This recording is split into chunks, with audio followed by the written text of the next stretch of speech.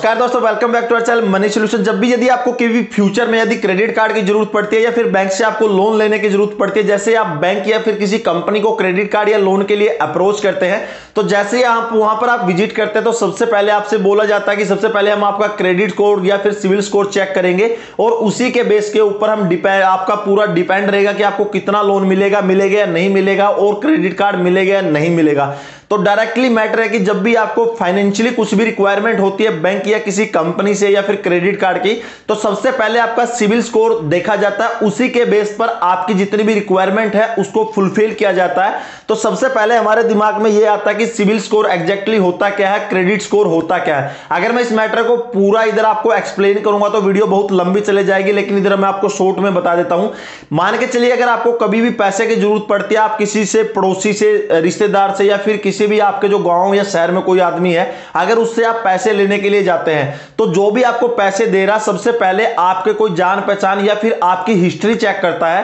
कि जिस बंदे को मैं पैसा दे रहा हूँ, क्या ये एक्चुअली मेरा पैसा वापस कर देगा? तो सेम यही भी बैंकों का प्रोसीजर है कि जब भी आप बैंक से लोन या क्रेडिट कार्ड लेने के लिए जाते हैं तो बैंक वाले सिविल से आपका जो पूरा का पूरा डाटा चेक करते हैं कि इस बंदे का कोई डिफ़ॉल्ट तो नहीं है, इसका सिविल स्कोर कितना है, इसने अगर पहले लोन लिया है तो क्या लोन को रिपेमेंट किया है? यानी एक सिविल ऐसी संस्था है, जितना भी आपका क्रेडिट हिस्ट्री है जो आपके पैन कार्ड से अटैच है पूरी बैंकों को प्रोवाइड करती है और जैसे ही बैंकों के पास आपकी सिविल रिपोर्ट आ जाती है तो बैंक डिसाइड करते हैं कि इसको कितना लोन दिया जाना चाहिए, इसका रेट ऑफ़ इंटरेस्ट कैसा होगा। अगर आपका सिविल स्कोर ज़्यादा अच्छा होगा, आठ से आठ सौ से लेकर एट हंड्रेड से ज़्यादा है तो इसमें डायरेक्टली जो आपका लोन का जो रेट ऑफ़ इंटरेस्ट है, वो कम रहता है। अगर आपका सिविल थोड़ा सा कम हो जाता है तो रेट ऑफ़ इंटरेस्ट भी बढ़ जाता है। और अगर क्रेडिट कार्ड की बात करें तो कम सिविल के ऊपर क्रेडिट कार्ड भी बैंक या जितने भी कंपनियाँ वो प्रोवाइड नहीं करती। तो दोस्तों अभी मेन टॉपिक के ऊपर बात करते हैं कि क्या सिविल को बढ़ाया जा सकता है।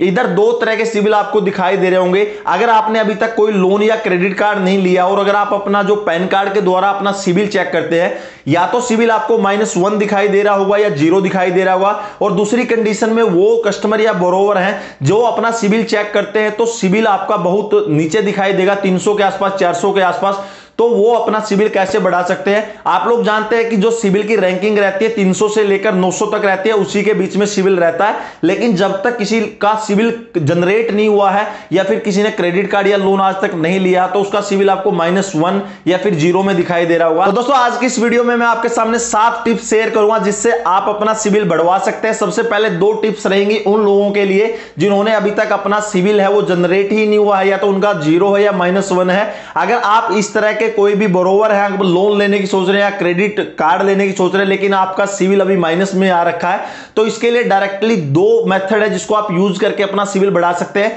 सबसे पहले अगर आपको कभी कोई सामान खरीदना, जैसे कि आप कोई भी फ्रिज खरीद रहे हैं वॉशिंग मशीन खरीद रहे हैं, या कोई भी इलेक्ट्रॉनिक गैजेट है, या कुछ भी इक्विपमेंट अगर आप खरीद रहे हैं, किसी भी शॉपिंग मॉल से शॉपिंग कॉम्प्लेक्स से, जैसे कि रिलायंस ट्रेंड हो गया क्रोमा हो गया तो अगदीजा सेल्स होगी। अगर आप इनसे खरीदते हैं तो डायरेक्टली इनको फुल पेमेंट में आप कभी भी मत खरीदिए। यानी अगर आप कोई भी इलेक्ट्रॉनिक गैजेट खरीद रहे हैं तो इसको आप ईएमआई में कन्वर्ट करवा लीजिए। ईएमआई में कन्वर्ट करवाने के लिए आपका सिविल स्कोर चेक नहीं किया जाता, सिर्फ़ आपका पैन कार्ड और आधार कार्ड के बेस पर आप कोई भी इलेक्ट्रॉनिक गैजेट खरीदते हैं तो उसको ईएमआई में कन्वर्ट कर देते हैं। फाइनेंस में आपको पता होगा, जैसे ही आप कोई भी फ्रिज इलेक्ट्रॉनिक वॉशिंग मशीन इधर से खरीदते हैं और उसका टाइमली पेमेंट कर देते हैं, जैसे ही आपका पूरा टाइम के हिसाब से उस जितना भी आपका इलेक्ट्रॉनिक गैजेट है, उसकी पूरी पेमेंट कर देते हैं तो आपका सिविल इधर से क्रिएट हो जाता है और इधर से एक अच्छा सिविल क्रिएट हो जाता है। तो फ़र्स्ट मेथड आप ज़रूर यूज़ कीजिएगा, अगर जिसका अभी तक सिविल क्रिएट नहीं हुआ है। सेकंड ऑप्शन आता है दोस्तों, अगर आपकी कोई सैलरी आ रही है आपके बैंक अकाउंट में, जैसे दस हज़ार रुपए महीना, बीस हज़ार रुपए महीना या पंद्रह हज़ार रुपए महीना,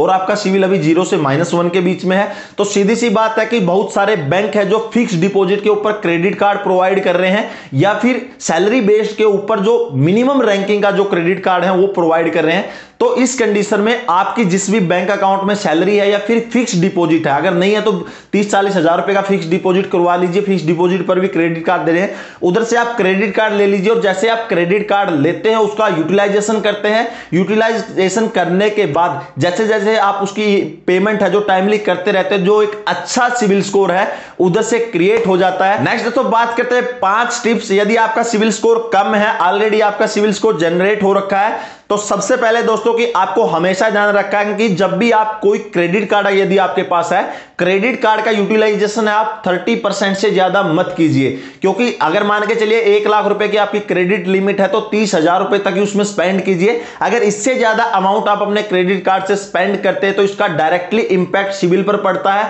क्योंकि आपको जो क्रेडिट है, वो बहुत ज़्यादा रिक्वायरमेंट है, और अगर आपको क्रेडिट की ज़्यादा रिक्वायरमेंट रहेगी, आप उसको ज़्यादा स्पेंड करोगे तो डायरेक्टली आपके क्रेडिट स्कोर के ऊपर एडवर्स इफ़ेक्ट पड़ता है तो 30 परसेंट से ज़्यादा आप अपने क्रेडिट कार्ड का इस्तेमाल मत कीजिए, या फिर जो ओडी की फैसिलिटी आपको प्रोवाइड की गई है नेक्स्ट दोस्तों, जब भी आप कोई क्रेडिट कार्ड आप अप्लाई करते हैं वेरियस टाइप ऑफ़ बैंक है, आपको क्रेडिट कार्ड का ऑप्शन प्रोवाइड कर रहे हैं तो जब भी आप एक क्रेडिट कार्ड अप्लाई करते हैं तो दूसरा अगर आप क्रेडिट कार्ड अप्लाई करना चाहते हैं तो कम से कम उसके अंदर छह महीने का गैप ज़रूर रखिए। क्योंकि अगर आपने देखा होगा कि ऑनलाइन बहुत सारी एप्लीकेशन आपको क्रेडिट कार्ड का ऑप्शन देती है, आपके पास मैसेज आता है। अगर बार बार आप उनके क्रेडिट कार्ड अप्लाई करेंगे रिजेक्ट हो रहे हैं, या बार बार बहुत सारे क्रेडिट कार्ड अप्लाई करेंगे तो इसका बहुत बड़ा एडवर्स इफ़ेक्ट आपके क्रेडिट हिस्ट्री में पड़ता है। क्योंकि क्रेडिट जो सिविल है, ये जान रहा है कि इस बंदे को बहुत ज़्यादा क्रेडिट की रिक्वायरमेंट है तो वो उसी हिसाब से आपके सिविल को नीचे लाके रख देता है। दूसरा दोस्तों नेक्स्ट तो आप जानते हैं कि अगर आपकी कोई लोन ईएमआई चल रही है तो उसको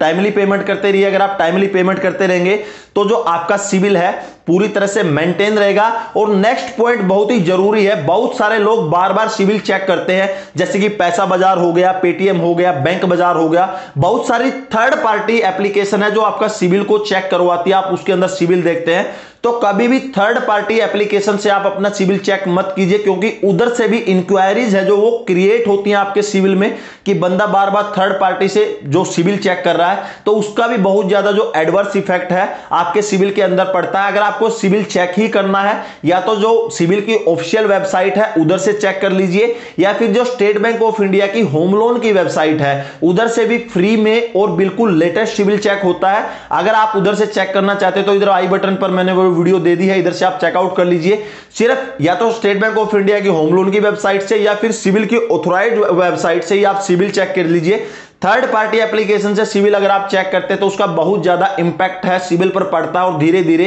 आपका सिविल नीचे आ जाता है। दोस्तों नेक्स्ट अगर हम बात करते हैं सिविल के बारे में तो जो भी आपका कोई लोन ईएमआई चल रही थी, आपका लोन अगर ऑलरेडी बंद हो चुका है क्लोज हो चुका है तो जब भी आप सिविल चेक करते हैं तो हंड्रेड ये उसके अंदर ज़रूर चेक कीजिए कि जो लोन था, आपने पूरा पहले भर दिया, क्या वो लोन अभी सिविल में क्लोज दिखा रहा है? अगर वो क्लोज दिखा रहा है तो ठीक है, अगर वो क्लोज या नहीं दिखा रहा, उसका जो स्टेटस ओपन है né? तो आप तुरंत सिविल को है, इसके बारे में इंफॉर्मेशन दीजिए info at the rate CIBIL dot com की मेल आईडी पर, ताकि जो लोन स्टेटस अभी ओपन दिखा रहा है, क्योंकि उसमें सीधा सा रहता है कि जो क्रेडिट रिक्वायरमेंट है, वो आपकी बढ़ जाती है। अगर आपका कोई लोन ओपन है और आप दोबारा लोन के लिए अप्लाई करते हैं तो जो वो थर्टी परसेंट वाला क्राइटेरिया वो भी और साथ में आपके जो सिविल के अंदर क्रेडिट रिक्वायरमेंट है, वो क्रिएट होती है तो जिससे सिविल डाउन आ जाता है। जब भी आप अपना सिविल चेक करते हैं हंड्रेड पूरी टर्म एंड कंडीशन उसमें ज़रूर चेक कीजिए। कि आपका कोई लोन ओपन तो नहीं दिखा रहा जो ऑलरेडी क्लोज हो,